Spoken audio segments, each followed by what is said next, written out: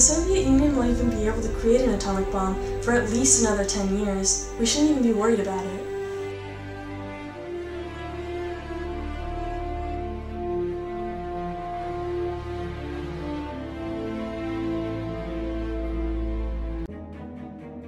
Today's weather forecast is.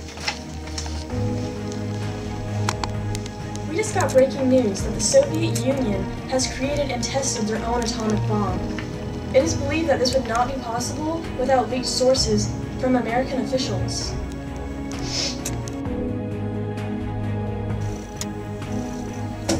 What's your name and what do you know? The name is Klaus Fuchs. I'm the spy from the Soviet Union. The only other thing I know is there's a spy named Raymond.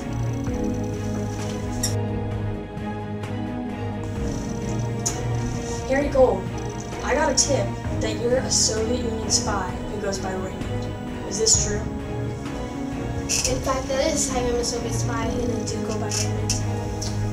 Who are you working with? I only work with one spy, But I don't know his name. although I do recall his wife's name is Bruce. Alright, thank you. What is your name? David Greenglass. Is your wife's name Ruth?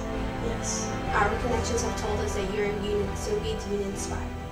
And that you need to confess right now, or else you can face severe consequences. I'll confess. Just know that it's for my wife. She's pregnant and she was burned in an apartment fire. I'm a Soviet Union spy. I made sketches of the inside of an atomic bomb and I gave them to my brother-in-law, Julius Rosenberg. He's also a spy, as well as his wife, who's my sister, Ethel.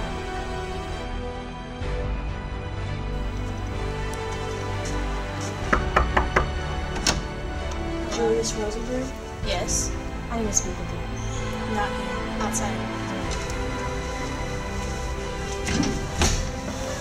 What would you say if I told you your brother-in-law said that you asked him to supply info to the Soviet Union?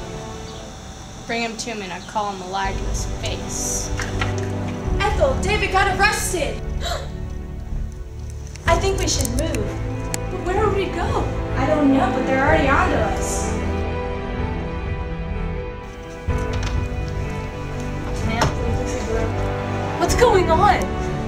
Julius Rosenberg, Yes. you're under arrest. You have the right to remain silent. Anything you say can ever be used against you in court of law. This is the trial of Julius and Ethel Rosenberg. We will now call to the stand David Greenglass. My brother-in-law Julius took a jello box, cut it into two pieces. He told me to keep one half, and the other half he'd give to the person that needed to contact me to give me the rest of the espionage data. The day I arrived in Albuquerque, a man, who now is known as Harry Goldwater, gave me the other half of the jello box, and that's how I knew he was the one I was supposed to be. Excuse me, ma'am, are you Ethel Rosenberg? Yes. You're under arrest. You have the right to remain silent. Anything No! you say can Let me, be let me go you. see my thing.